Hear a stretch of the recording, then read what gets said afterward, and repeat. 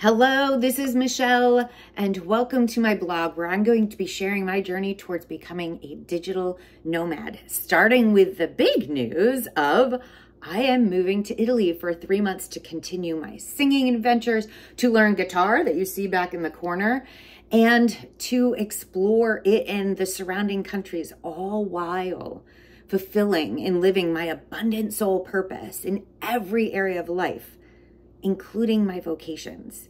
And while traveling a few months here and a few months there has always been in a vision that I've had for myself, what I wanted to create, the magical way this opportunity landed in my lap awes even me. And the synchronicities are still showing up to prove that the stars have aligned absolutely for this grand adventure. But first I have to, mm-hmm, sort out my current living situation, which means I have to pack up, move out, clean out my apartment with a very tight deadline of by the end of this month.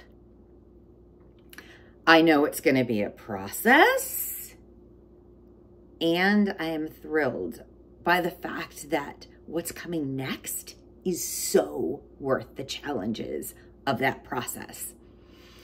Ah, so I want you to join me as I navigate this journey towards a life of travel and freedom. And I share tips on how to live a mindful and intentional life you love while exploring the world at large or exploring your own backyard.